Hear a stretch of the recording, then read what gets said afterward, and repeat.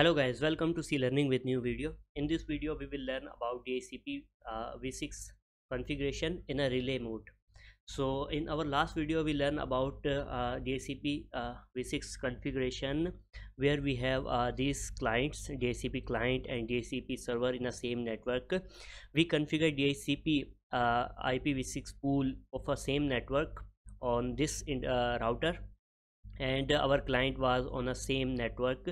Uh, both these uh, client server were on same network. If uh, we have a server on different network on a remote area or any other place so in between there are many other network. Suppose this is an other network and this is a separate network.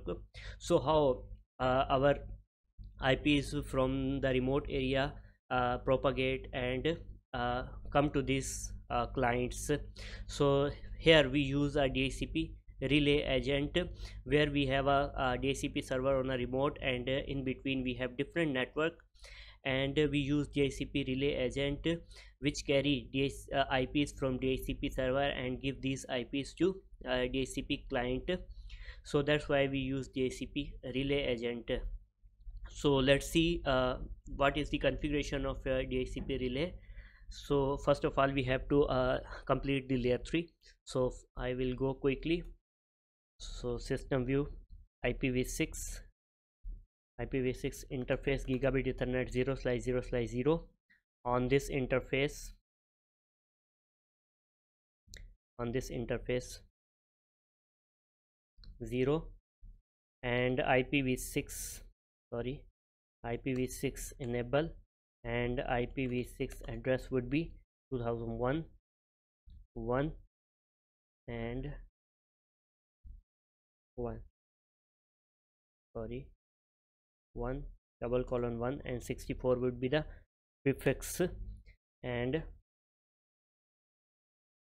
on that interface g001 on this interface we give the IPv6 address. IPv6 enable and IPv6 address would be 1 2 colon 1 and 64 so this would be the IP now we give the OSPF configuration on this router.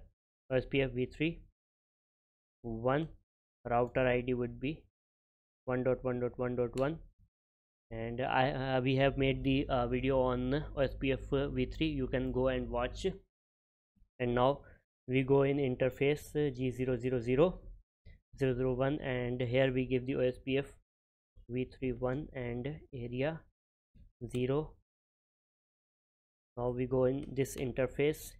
This interface also give the OSPF v3 1 and area 0 now we go on router 2 on this router and now here we also give the IP addresses system view IPv6 interface gigabit ethernet 0 slash 0 slash 0 and IPv6 enable IPv6 address would be uh, 1 colon 2 double colon 2 and 64 here we give the 1 2 double colon 1 and on this interface on this interface we give double colon 2 and we also uh, run OSPF v31 and the router id a router id is optional but it's uh, good to give the router id so now we go in interface gigabit ethernet 0 slash 0 slash 0 and ospf v31 and area 0 now we can ping these two router with each other this router with this interface as well as this interface. Let's ping and ensure the connectivity ping ipv6 ipv6 1 colon 2 double colon 1 okay? It's reachable this interface is reachable let's one double colon sorry double colon sorry. So uh, it's reachable now we uh, configure uh, here DHCP server we make a DHCP server of this network. So this network is what is on this interface. Display this. Display this. Display this. On this interface there is this address uh, 2001 colon 1 double colon 1 so this is the network. So this is the gateway and uh, this would be the network. So uh, we make a DHCP pool and where we give the, this network IP address here. In this pool and this pool is uh, one network beyond because here is a second network. So DHCP server uh, is on this router. So we create a DHCP server. So we have a same command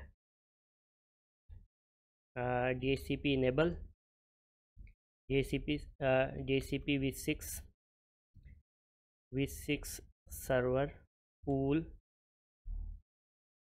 DHCP if you question mark so you can give a command. Pool pool name pool name uh, pool 1 and here we give the address prefix 2001 1 double colon. And here we have to give the slash 64 is the prefix.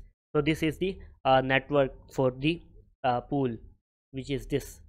And here we have to uh, if you want to give the DNS server name so you can also give the DNS server IP so 1 colon 444 sorry. 444 and double colon 1 okay this is the DNS server so I I have uh, just write here one because we are using one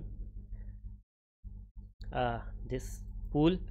So uh, you have also have to give the exclude IP address because uh, on this interface we also give the uh, already give the IP address of this network. So we want to exclude this IP address because uh, we don't want a conflict. So exclude address would be okay this address 1 and now we go in interface of this interface and here we give the IP pool global IP pool. So first of all we give in 0 slash 0 slash 0 and uh, DHCP v6 server. And here we give the pool name pool 1 so we give the pool 1 name and let's see either we get IP address or not. IP config. Sorry. IP config. So there is no IP address on this client. So we have to use the relay agent which pick the IP address on this from this router and bypass this network and give this client to IP address now we have to configure the relay agent on this interface of router. Now we go in this interface. First of all we have a command DHCP DHCP enable. And now we go in interface G00 0 and uh, here we use DHCP if you question mark DHCP v6 if you question mark so relay. So if you question mark so destination so you have to give the destination IP address. So destination IP address is the IP address where you have you have configure your server and which destination you have you have configure your server. So what is the destination IP address of our server? So our server destination ip address is this interface. On this network this interface we configure our dhcp server. So it's not the uh, destination ip address of our server. It's the destination ip of the server location so this is the uh, destination ip so we have to give the destination ip to double colon 2 okay? Here we configure the dhcp server. So we have to check now either we receive IP address or not. Soon you will uh, receive the IP address. So we have to use the IP config sorry IP config. So soon we will get the IP address sorry system view dhcp enable yes dhcp already enable uh, so we go in this interface let's check either we get the IP address or not. No we not get the IP address let's see. Uh, we have to give the command. So first of all go in system view and save that. Just go and save all the configuration. Now we go in uh, on same interface system view interface gigabit ethernet 0 slash 0 slash 0 and here we use the DHCP uh, remote ID DHCP sorry v6 remote ID sorry insert.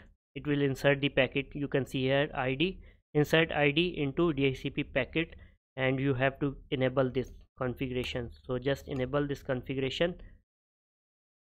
now uh, so let's see we receive the IP address or not. So just wait for some second. So it will uh, automatically give the IP address to PCs so after some time it will get uh, this behave like this after this command. So just save this configuration previous configuration uh, after uh, before running this command. Uh, after running this command uh, this server behave like this. So if you save the command so you will able to uh, turn on and off the uh, this uh, server so your configuration will not be lost. So after some seconds you just go here and uh, just do the ip config. So you get the uh, configuration. If you not get the ip so don't be panicked. So just wait for some second and just re type that command and you will get the IP address. So you can ping now. Let's see neighbor let's ping so it will yes it's reachable. So now we ping 3 so yes it's reachable. Uh, if you ping 4 so let's see it's reachable not. Yes it's reachable. So let's now ping uh, uh, the uh, gateway. Yes gateway is also reachable. So you can see here uh, this server is down so you can see it's behaving like this but its interface this gateway is reachable. So this is the behavior of this DHCP so don't be panic and uh, so you can see here. So that's how uh, this is the configuration of uh, uh,